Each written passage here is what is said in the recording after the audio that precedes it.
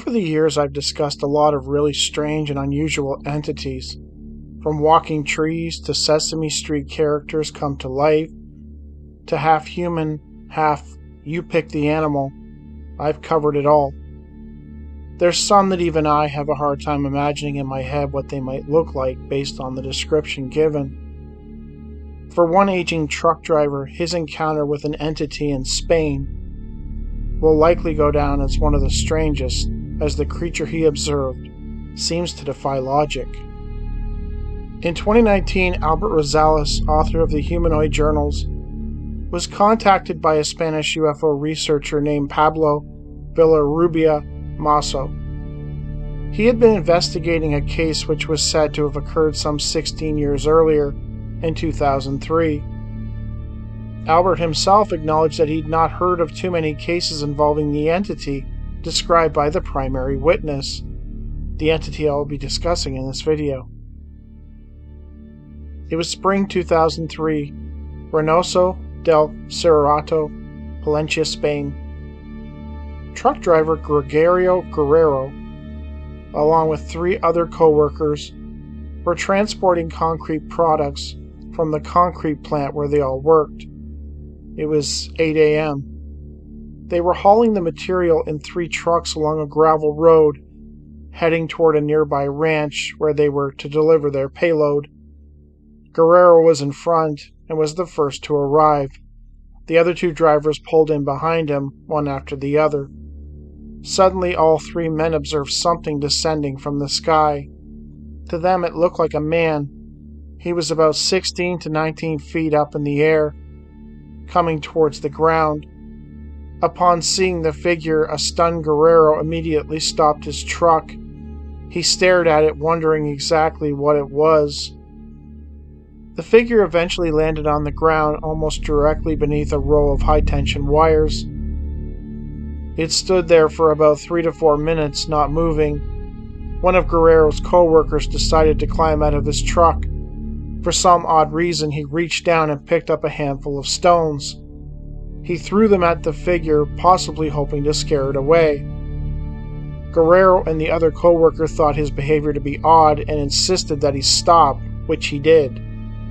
Guerrero finally had a chance to study the entity, which was about 30 feet away from where he was sitting in his truck. It stood about 6 feet to 6.5 feet tall. It was brown in color its arms and legs were human like, though what was truly odd was its head.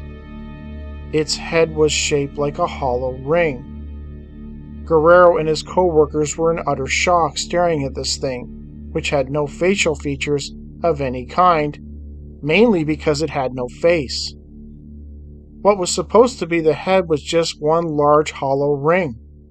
There was also the absence of a neck. The men could see right through the center of this ring.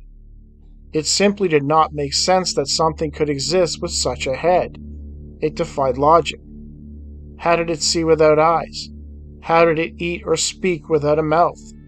How did it hear without ears? It simply made no sense biologically or practically. It was a body without any kind of real head, yet it seemed to function normally. It remained there for another three to four minutes looking around, and then it suddenly took off in a diagonal trajectory until it disappeared from sight. The men could not see any wings or any type of external propulsion on the figure. How it was able to achieve flight, Guerrero admitted that he had no idea, nor did any of the other men present.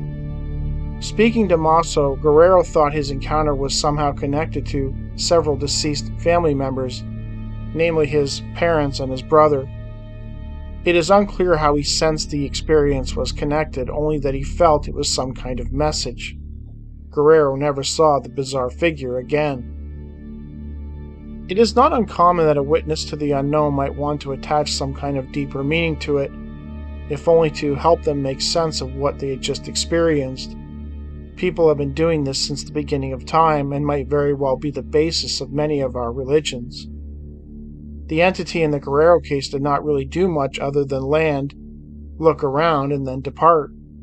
It's possible that its deformity, its ringed head, limited what it was actually able to do.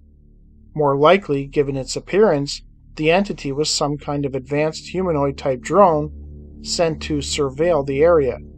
And it was just a coincidence that all had ended up in the same place at the same time. Upon realizing that it was not alone, the entity, or the drone, merely flew off to wherever it had been sent from.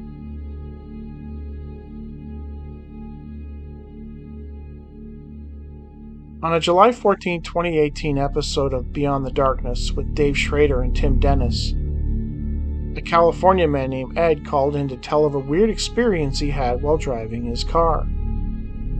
It was June 2006. Ed claims that he was exhausted due to finals week.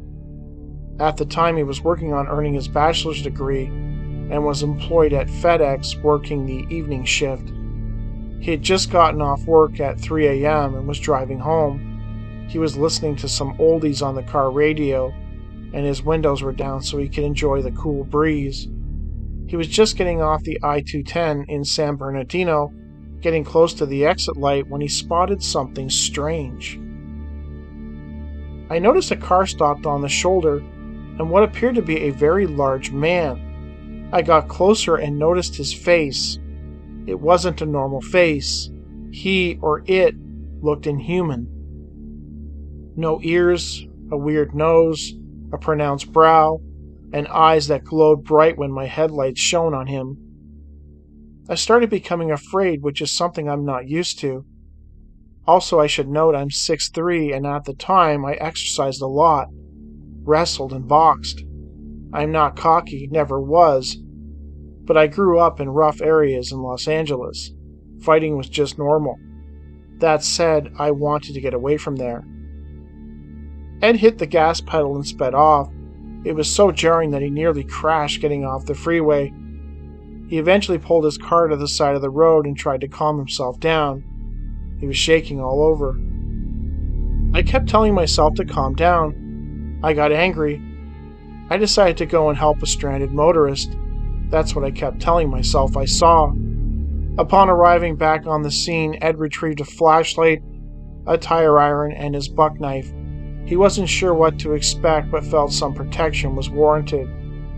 I headed back to the vehicle. I called out, Anyone there? I checked out the car and the area. There were weird footprints in the dirt. They didn't look like shoe prints. There were handprints on the trunk, I say hand because the print didn't really look human. I started getting an awful feeling in my lower back, and I realized I was in a heightened state of alarm. I couldn't shake the feeling I wasn't alone there. I kept calling out, Who's there? But I'll admit, I didn't want to find out or get an answer. With that, Ed returned to his vehicle and drove home. Curiously, he was unable to sleep for three days, something he and his friends found odd. My roommates thought I was having a psychotic episode, but when I told them what happened, they started freaking out. His roommates debated on whether or not Ed had encountered some type of demon or possibly an ET. Ed himself was inclined to believe that it was the latter. It's been over 10 years since the incident, and I'll be happy to never have another incident like that again. When I first heard this call, my immediate thought was that Ed had accidentally stumbled upon an abduction in progress. He did not indicate seeing any kind of craft, nor did he see what he thought was the vehicle's owner, just an inhuman figure standing near the car. So I assumed that the event had already occurred or was in the process of occurring when Ed and his car drove up that roadway. It's entirely possible that the craft was in the woods close to the highway just at a view of passing motorists, which would explain why the figure might have been lingering around the area, maybe keeping an eye on things. Upon his return to the abandoned car, Ed found strange hand and footprints around the vehicle, indicating that something had happened. He also described feeling as though he wasn't alone. The more I think about it, though, the more I'm convinced that something else occurred that evening, something that Ed just can't recall. The sheer fright he described his entire body shaking in fear, and his inability to sleep for three days suggests some type of traumatic event. I'm convinced that there is more to the story. Is it possible that he too was taken, either when he passed the figure on the roadside or possibly when he returned to the area to investigate.